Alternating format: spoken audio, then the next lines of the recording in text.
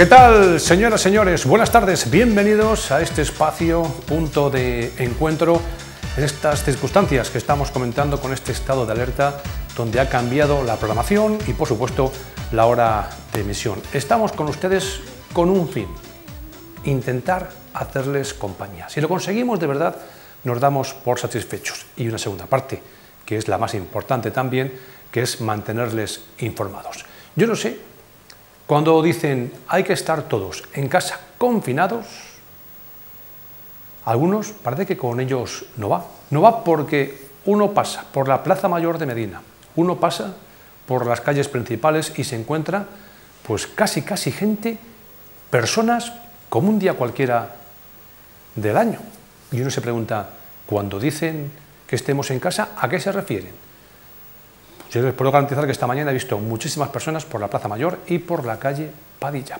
Además, sabemos, nos consta, que la policía local está denunciando a los coches, motos y personas que están precisamente por esas calles para evitar de alguna forma que se masifique el paso, porque parece que estamos más que de urgencias de paseo por diferentes puntos de Medina. Incluso van a, a través de la megafonía, la policía local va a informar a los vecinos nos comentaban que, bueno, se dan cuenta que hay personas que les paran y que viven en un punto de Medina y van a comprar el pan al otro lado. ¿no? Dicen, esto, esta gente lo que va es a darse una vuelta, a darse un paseo. Por lo tanto, repito, va a haber sanciones importantes para los que se salten a la torera estas normas que tenemos que cumplir todos. Es que no somos conscientes, de verdad, donde mejor estamos todos es en nuestro domicilio, porque la cosa se va a poner peor, aunque tenemos que decir que el Medina del Campo no hemos vuelto a conocer ningún caso de coronavirus, solamente el que ayer se conocía y bueno, como saben todos ustedes,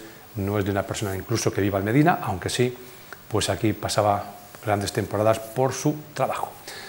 Vean estas imágenes porque el Ayuntamiento de Medina ya ha puesto en marcha un dispositivo para desinfectar las calles.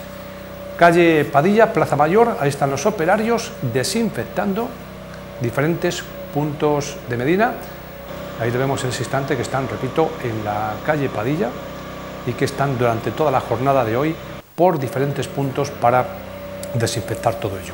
Y ojo, que es el cuarto día que estamos todos en nuestros domicilios, que esto va para largo, que esto es de largo recorrido.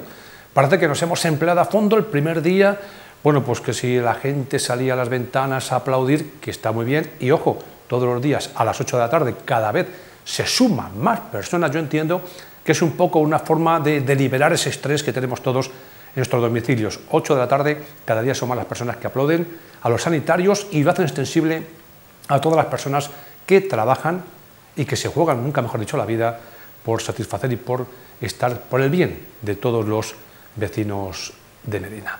Repito, todos los días, 8 de la tarde, tenemos esos aplausos para todo el mundo. Pero esto esto es de largo recorrido. Nos hemos empleado a fondo los primeros días y esto va para largo, ¿eh? Esto va para largo. Uno puede pensar que es, por ejemplo, como cuando va de vacaciones. Uno va de vacaciones a la costa levantina, por ejemplo, uno va a venidor, se monta en el coche y estamos ahora mismo llegando, pasando a Taquines. Estamos llegando a Arévalo, ¿eh? Nos falta todavía un camino largo.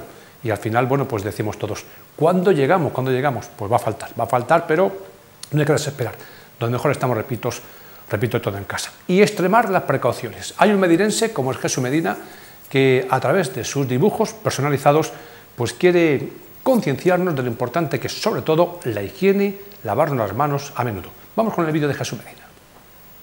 Recomendaciones para combatir el coronavirus y evitar que se propaguen los contagios.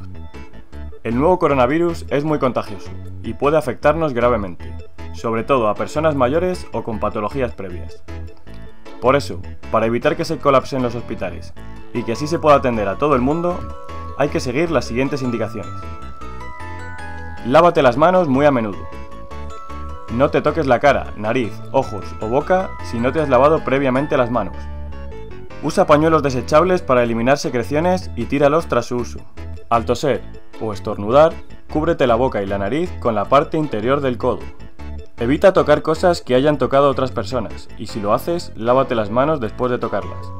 No acudas a lugares donde haya más personas, ni siquiera a visitar a tu familia. Mejor les llamas por teléfono. Evita el contacto físico con otras personas. Intenta mantener una distancia de al menos un metro y medio con el resto del mundo.